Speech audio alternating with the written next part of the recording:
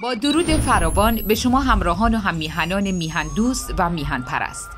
در شبی که گذشت شاهد بودیم که انقلاب ایران روز به روز در حال گسترش هستش تا جایی که آصف بیاد تحلیلگر روزنامه اعتماد خیزش مردم ایران وارد مرحله انقلاب شده و سران رژیم در حال خروج از کشور هستند. اما در شب گذشته انقلاب ایران در سنندج شاهد یک شب خونین دیگه بود تا جایی که نیروهای رژیم با اسلحه جنگی به سمت منازل مردم شلیک مستقیم کردند.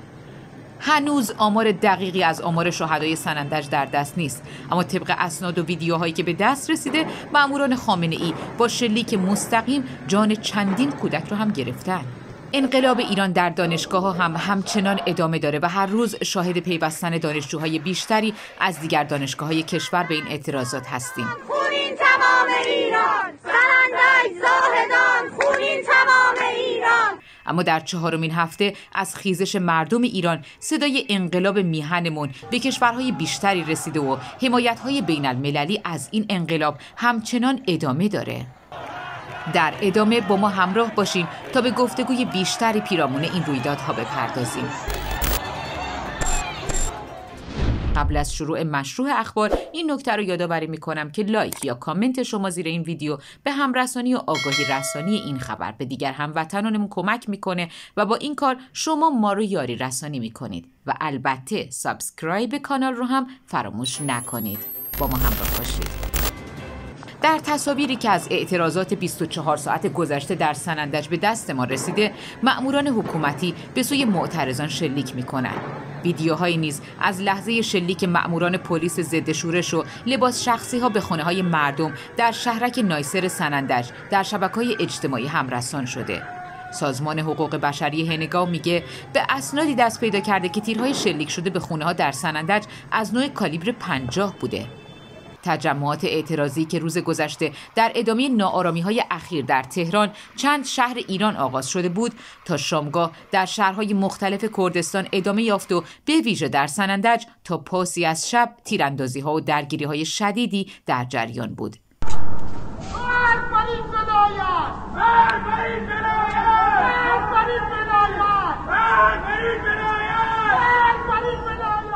به نوشته پایگاه خبری هنگا و کردستان این درگیری ها به ویژه در محلی بهاران سنندج روی داده و صدای تیراندازی مأموران تا دیر وقت شب همچنان به گوش می رسیده به طوری که شامگاه سهشنبه 19 مهر سنندج به صحنه جنگ تمام ایار شباهت داشته. رقم تاریخش بیجین؟ امروز 19 مهر اره 19 مهر گریزه. گزارش دقیقی از تلفات احتمالی این درگیری ها در دست نیست. اما هنگا می نویسه که یک کودک هفت ساله در نتیجه شلیک تیر جنگی مأموران مسلح در سنندج کشته شده. ویدیوهایی هم از لحظه شلیک مأموران پلیس ضد شورش و لباس شخصی ها به خونه های مردم در شهرک نایسر سنندج در شبکه های اجتماعی همرسان شده. سازمان حقوق بشری هنگام میگه به اسنادی دست پیدا کرده که تیرهای شلیک شده به خونه ها در سنندج از نوع کالیبر پنجاهه همچنین ویدیوهای دیگه از حمله مأموران در تهران، مشهد و چند شهر دیگه با شکستن شیشه های خودروها و منازل مسکونی منتشر شده. هنگاه همچنین از ادامه اعتصابات و تظاهرات شبانه در شهرهای بانه، مریوان، سلاس باباجانی، دهگلان و سقز، زادگاه محسا امینی و نیز از بازداشت قهری چندین شهروند کرد به دست مأموران در شهرهای مختلف خبر داده.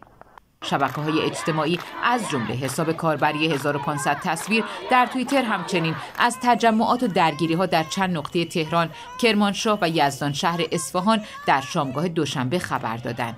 در برخی ویدیوها صدای تیراندازی شنیده میشه.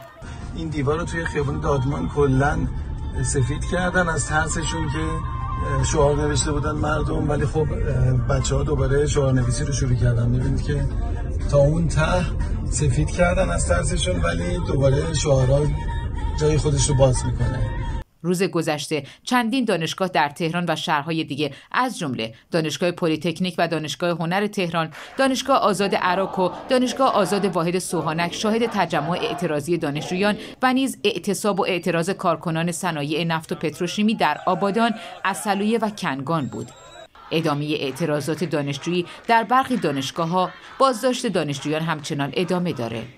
کانال تلگرامی شوراهای سنفی دانشجویان ایران از ادامه اعتراضات دانشجویی در شماری از دانشگاه ها با وجود بازداشت گسترده دانشجویان خبر داد. بر اساس گزارش روز سهشنبه این شورا دانشجویان دانشگاه های گیلان، آزاد شیراز، صنعتی نوشیروانی بابل، دانشکده دندان پزشکی شیراز، تربیت مدرس تهران و دندان پزشکی دانشگاه بهشتی در داخل ساختمان های دانشگاه تجمع اعتراضی برگزار کردند.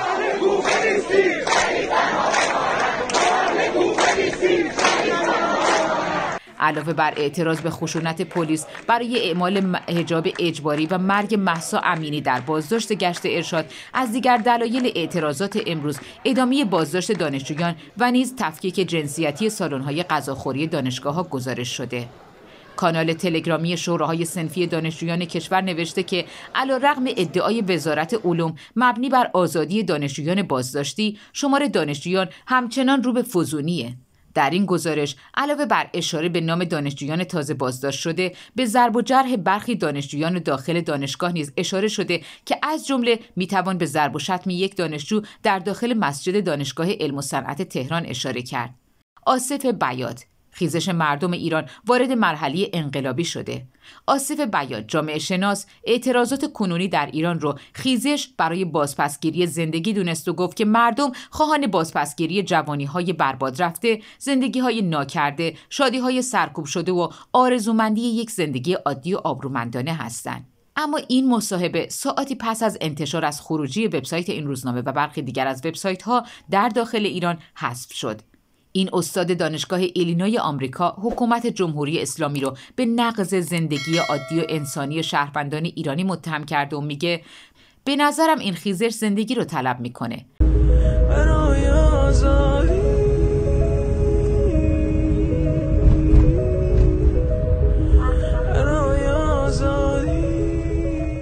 معترضین احساس می‌کنن که تحقق یک زندگی عادی و انسانی به وسیله حاکمیت نقص شده که هیچ درکی از این آمال آرزوها و دردهای مردمش ندارن آصف بیاد به نقش محوری زنان در اعتراضات کنونی اشاره کرده و از اون نتیجه می‌گیره که به لحاظ ذهنی یک تغییر پارادایم به وجود اومده.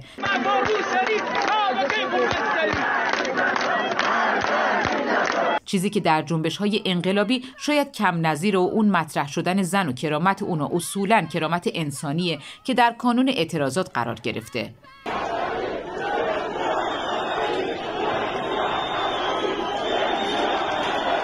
این جامعه شناس همچنین ارزیابی می‌کنه که شرایط ایران اکنون انقلابیه. اون در توضیح این امر میگه در این خیزش بازپسگیری زندگی به خواست همگانی تبدیل شده. پس به لحاظ ذهنی یک درد مشترک و خواست مشترکی به وجود اومده و گروه ها و اقشار مختلف اجتماعی رو در احساس و ابراز اون شریک نموده و اونا رو به عمل جمعی رهنمون کرده.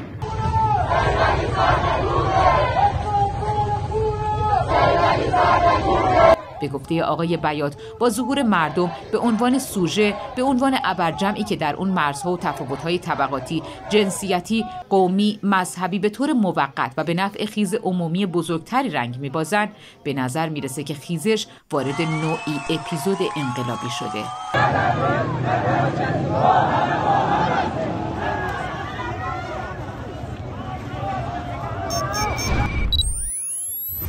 حمایت های جهانی از خیزش مردمی علیه جمهوری اسلامی همچنان ادامه داره.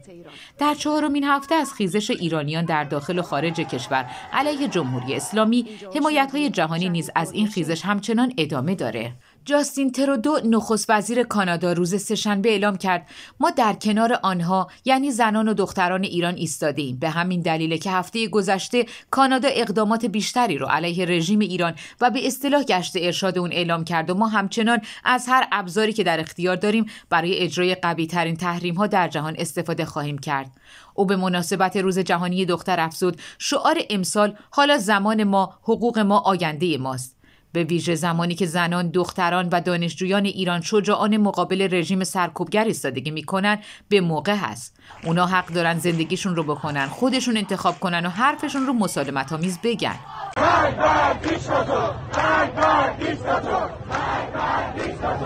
همچنین وزیر خارجه فرانسه اعلام کرد تحریم های جدیدی علیه ایران اعمال میشه که هدف اونا مسئولین سرکوبه.